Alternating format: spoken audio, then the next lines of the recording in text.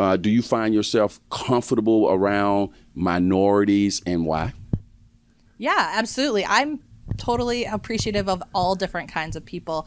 I think something that I bring to the table that's very different than a lot of other people is that I've lived in other countries where I am not the dominant you know, race, ethnicity. I know what it's like to live in a community where people don't speak your language or people act different than you.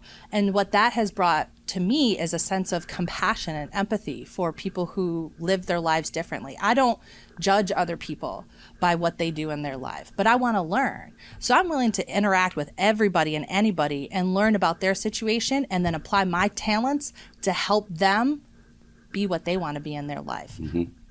Why should black people vote for Cindy Banyai?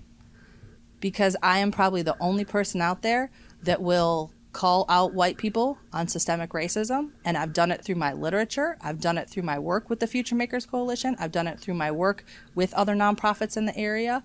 I actually brought to the district's attention through several reports that I wrote about the equity uh, gaps in the high school graduation rate, how black students graduate only 65% of the time compared to white students who only gra- who graduate 83% of the time, and helping to drive some of those conversations led by students about why this is, helping people to understand that racism is, is existing in our community and people don't want to acknowledge that, but I think that I'm somebody who talks about that quite frequently.